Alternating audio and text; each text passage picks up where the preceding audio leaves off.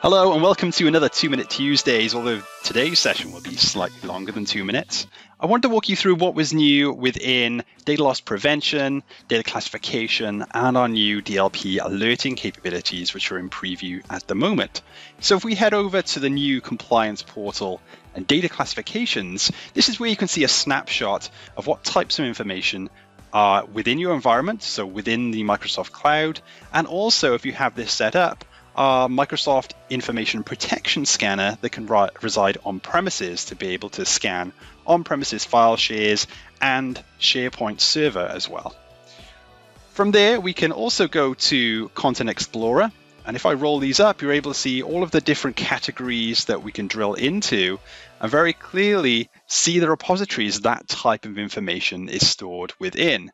So if we have the uh, right permissions within here, we can even see a preview of those files and the confidence value about what type of information it resides within that content. And the system's given this one a 55% that this item contains a classification of diseases.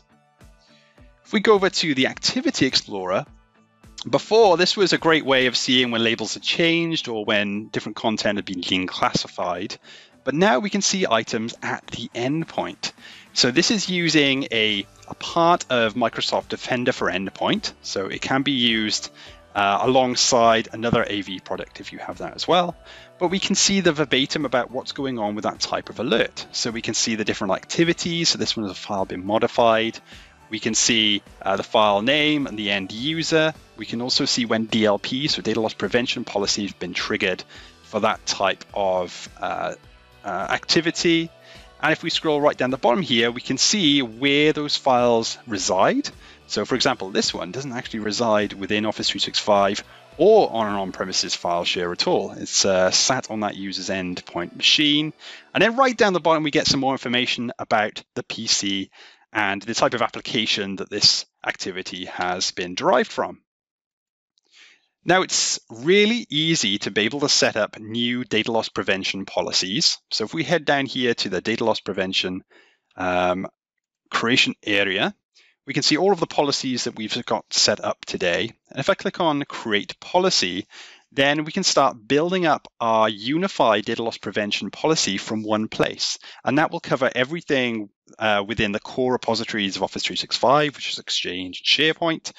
Uh, so if you're using things like Teams or other services within Office 365, those are the repositories that majority of data is st- stored within. We can also choose different categories to look at data that resides at the endpoint. So when the user is touching or creating that data.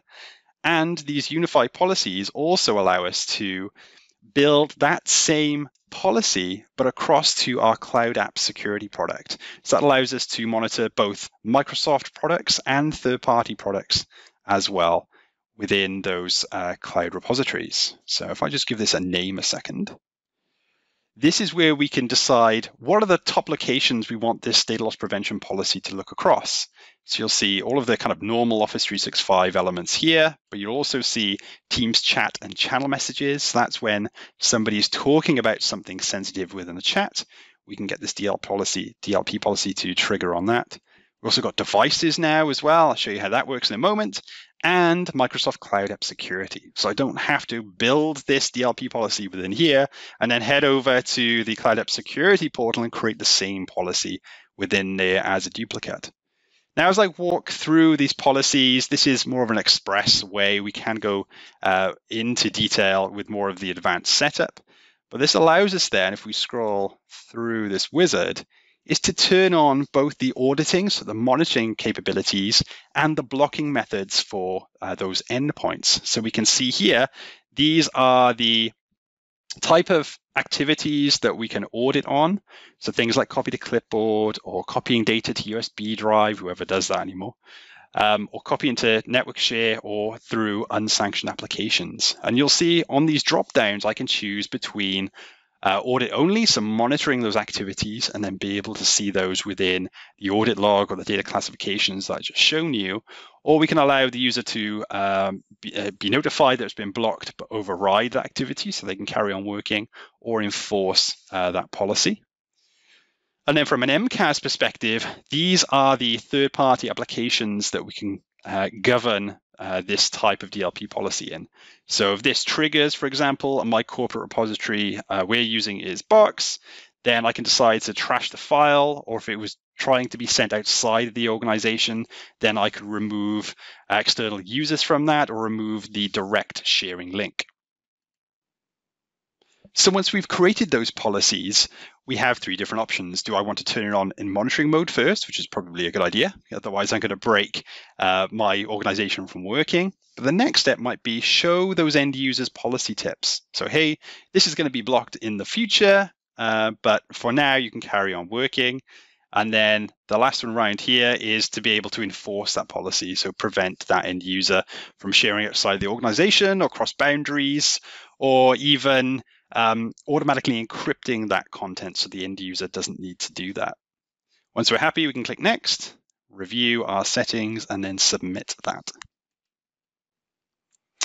Okay, let's head over to our PC here. I've set up a VM that is uh, AAD, so Azure AD joined. That means we can enroll this PC then to our endpoint DLP capabilities.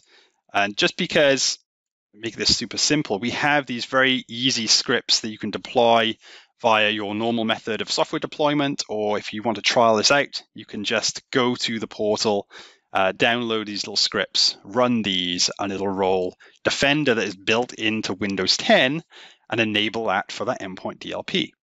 So you'll see on the desktop here, I have a number of files that doesn't don't reside in Office 365. These contain dummy credit card information, which is great. We can also have uh, Microsoft Information Protection scan this content, even though it doesn't reside in Office 365 or it might reside on premises on those file shares. We can get um, MIP to be able to classify and encrypt that content automatically if we wanted to. But let's just say I want to copy this credit card information, which allows me to do, and then I jump over to uh, my favorite search engine and I try and copy and paste that sensitive information into something else. You can see the bottom here that the endpoint DLP now is kicked in and say, hey, uh, this what you're trying to copy is sensitive data. Remember that the, the content, so the Word document here isn't classified yet. Uh, otherwise, I'd break my demo for you. Uh, prevent me from doing this. But you can also see that I have this override um, action as well. So I can I'm allowed to uh, carry on the work that I was doing, but also all of that information is being audited as well. Similarly, if I try and go into this Word document and I try and print it, dismiss this a second. You'll also see DLP has prevented me from uh, copying or printing out this content. And if I go across to my personal Dropbox account, you'll see that if I try and drag and drop this non-sensitive file that doesn't contain any uh, any uh, sensitive data in it, I'm allowed to copy to it. But if I try and draw, drag and drop this credit card document, you'll see DLP kick in. So we can have both uh, sanctioned and unsanctioned applications within here. We can also say uh, that different domains are unsanctioned as well. So what I've done is I'm using Chrome to be able to show you this in a demo, but we want to uh, change that behavior for those end users and make sure they're using a corporate standard, which is Microsoft Edge, because we have a lot more controls and security built into that product. So even down to the fact that if I try and open up a text document here, and let me just open up my Word document with my credit card information in. I'm going to copy that, open up my Word document and try and paste it. Now that's going to block me.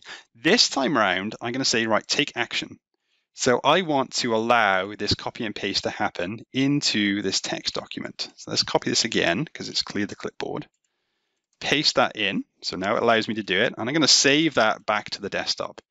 Again, remember that this doesn't reside in Office 365. We're not having MIP kind of kick in and, and encrypt this data. Now this is a uh, notepad document, but if I try and open that, Again, the system has detected that it contains sensitive information and it's uh, prevented me from even opening up that document altogether. So uh, just to show you some of the capabilities that are available within Endpoint DLP. Now you might wonder where all of those alerts are going. I showed you one way to be able to see it, but this is a new capability that's in preview at the moment. So when I click on data loss prevention and alert policies, uh, we have this tab called alerts, and this is where I can see all of the DLP policies are matched for specific activities.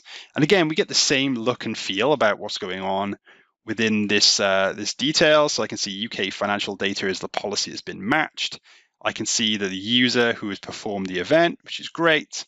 I can go across to the events tab as well and get more information about the content. So the system detected that it contained a credit card number, at least one, and it had a confidence level about 90, no, 85%. And the actions taken was to block access to that end user.